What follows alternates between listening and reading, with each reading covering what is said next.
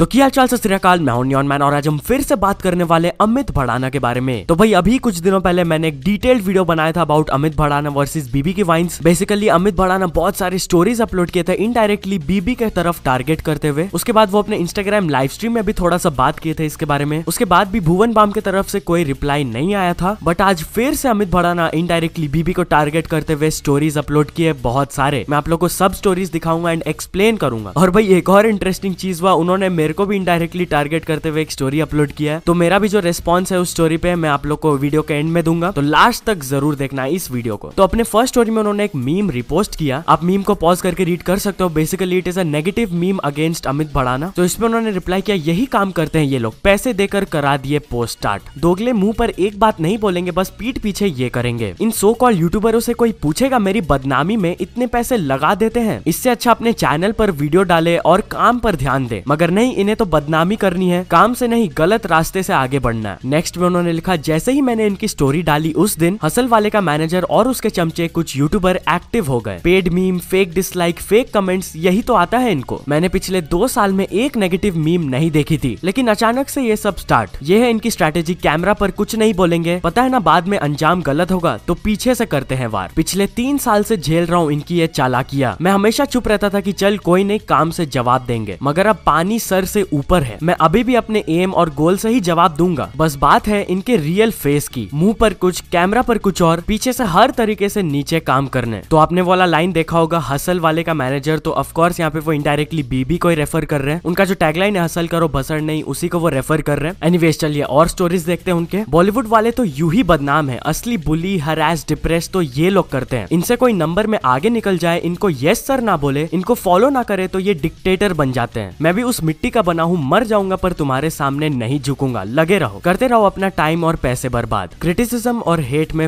फर्क होता है पर्सनल अटैक कराते थे जिससे बंदा परेशान होकर काम बंद कर दे और डिप्रेशन में चला जाए तुम अब तक कुछ कर पाए जो अब कुछ बिगाड़ पाओगे जब सामने आओगे कभी तो नजर मिला पाओगे संभल कर रहो ऊपर वाला सब देख रहा है यूट्यूब ने हम सबको एक स्टेज दिया है क्रिएटिविटी दिखाओ पॉजिटिविटी फैलाओ अपने ऊपर ध्यान दो लेकिन नहीं इनको तो बदनामी करके दूसरों को परेशान करना है इन्हें पता है अब आसान नहीं है बढ़ाना को पकड़ पकड़ पाना इसको सब घेर लो दुश्मन के दुश्मन को ये दोस्त बनाते हैं बस मकसद एक कैसे भी बढ़ाना की ग्रोथ रोकनी है बेसिकली इनका कहना यही है की कुछ यूट्यूबर्स मिलकर इनके अगेंस्ट हेट वगैरह फैला रहे हैं एंड उनका मकसद यही है की उनका अमित भड़ाना का ग्रोथ रोकना है सो ये सारे एलिगेशन लगाए जा रहे हैं भाई अमित भड़ाना फिर आगे उन्होंने और स्टोरीज अपलोड किए दो साल पहले बोला था एक एक बात सच बहुत कहानी है जो आप तक नहीं पहुंचती क्योंकि ये कैमरा पर बहुत अच्छे हैं पीठ पीछे बुली करते हैं हम तो अलग मिट्टी के बने हैं और कोई होता तो बेचारा मर ही जाता इनके प्रेशर सेंटर में आकर मेहनत खराब करते हैं सीधा दिमाग पर वार करते हैं नौ ये काफी सीरियस एलिगेशन है फिर आगे उन्होंने बात किया मीम पेजेस के बारे में जो इनके ऊपर मीम्स वगैरह बनाते हैं वो कहे मीम मैं भी देखता हूँ हंसता भी हूँ और इनकी क्रिएटिविटी को बेहद पसंद करता हूँ आत्मविश्वास में मैंने सारे मीमर्स को थैंक यू भी बोला है लेकिन ये जो बिकाऊ लोग है इनकी क्रिएटिविटी का दीन ईमान दो रुपए का है मुझ पे पैसा नहीं है क्या मैं नहीं करा सकता नेगेटिव मार्केटिंग